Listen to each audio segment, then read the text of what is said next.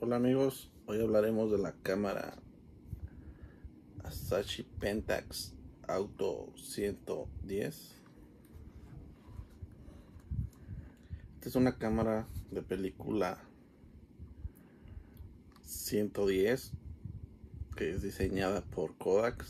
Fue un formato muy popular durante los años 70 y 80 porque venían en un cartucho pequeño y compacto. Era muy fácil de usar.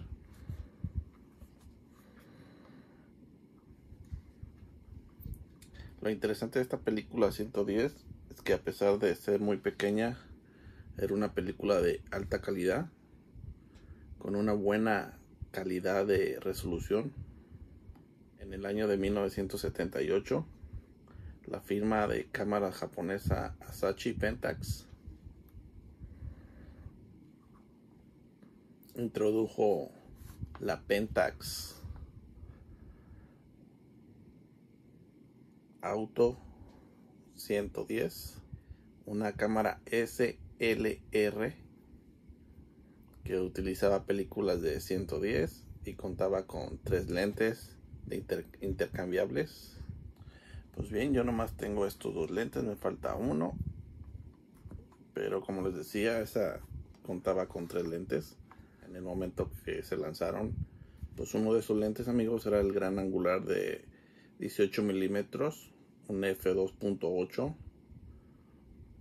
Ángulo de visión equivalente a una lente de 35 milímetros de una cámara de formato 135 el otro lente era normal, era de 24 milímetros, un f2.8 equivalente a un 50 milímetros. El diseño óptico pues, significaba que estaba en la lente más pequeña del sistema. Y pues el otro era el teleobjetivo de 50 milímetros, un f2.8 equivalente a 100 milímetros. Y en el año de 1981, pues se incluyeron otros tres objetivos más. Ya estamos hablando que tenía seis lentes de intercambiables. Pues bien, entre otros accesorios también tenía lo que viene siendo pues este flash automático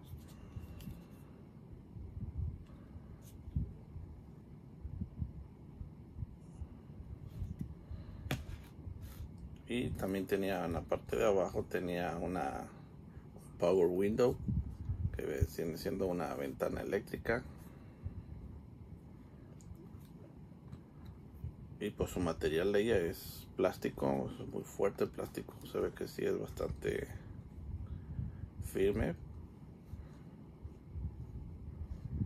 Y pues vemos que en la parte de arriba aquí en estas partes estas dos es donde se conecta el flash. Así que una vez que lo ingresemos el flash aquí, pues ya se, modo, se, activa en modo automático. Ya tenemos nuestro flash. Yo creo que pesa lo mismo que la cámara y casi casi está al mismo tamaño de la cámara. Que es bastante incómodo. Así que es mejor, yo mejor lo uso sin flash para que tenga mejor estabilidad y sea más cómodo para pues para usarla. Así que mientras la usemos afuera con la luz del sol pues es bastante cómodo y no utilizar el flash.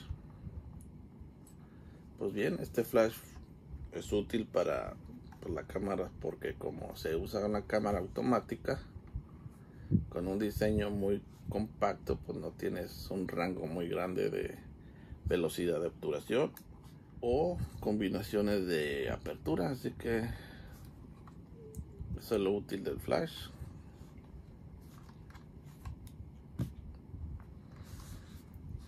Así que pues en situaciones de poca luz pues el flash es realmente útil y esta cámara pues ofrece pues, operaciones automáticas con el flash así que muy bueno. Parte de atrás tenemos el visor. Si apretamos el obturador, en la parte de adentro nos va a aparecer una lucecita no sé si se vea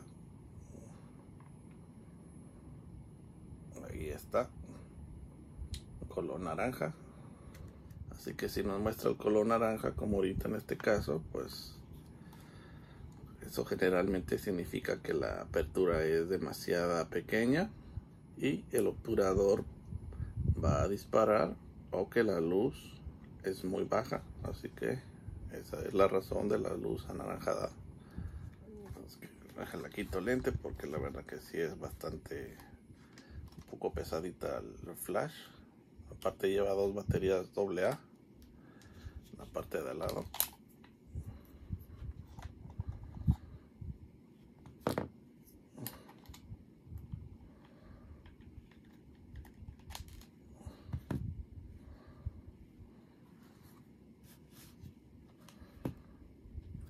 y aquí tengo el lente que es de 18 milímetros amigos. Este pequeño lente. En la parte de enfrente tenemos esta partecita que simplemente la levantamos hacia arriba y podemos girar nuestro lente y cambiar nuestro lente.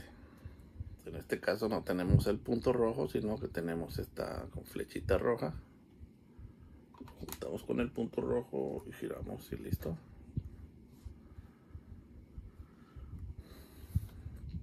Pues bien esta cámara tiene un sistema de doble movimiento para enrollar la película. Hay que hacerlo dos veces. Ya podemos continuar. Uno dos y así. Así que será porque podría tener un engranaje de plástico en el interior. Y para reducir la tensión en los engranajes y durar más o ser más confiable y por eso usa un sistema de doble movimiento o arrastre. Ya vemos que el obturador es muy suave cámara no es tan, tan ligera, si está un poquito pesadita. Pero eso sí tiene un agarre muy cómodo. Y con su muñequera pues también lo hace ver un poquito más más cómoda. Lo hace ver un poco más fácil también. Pero como les digo, sin flash es bastante cómoda para poder tomar tus fotos. En la parte de atrás pues podemos ver la, la selección de nuestro, nuestro carrete o película que hayamos puesto. Una vez que la ingresemos aquí podemos ver qué tipo de película. Pues realmente a mí me parece una cámara muy cómoda como para llevarla y sacar tus fotos ahí de paseo. Bastante curiosa y como les digo pues es bastante buena también en calidades así que yo digo que es una muy buena cámara de viajes. Espero que les haya gustado el video amigos. Y ya saben, si les gustó pues denle un like. Y pues si no han visto mis otros videos, los invito a que los vean. Que se suscriban y nos vemos en el próximo video amigos. A ver qué cámara descubrimos juntos. Hasta luego y muchísimas gracias amigos. Bye.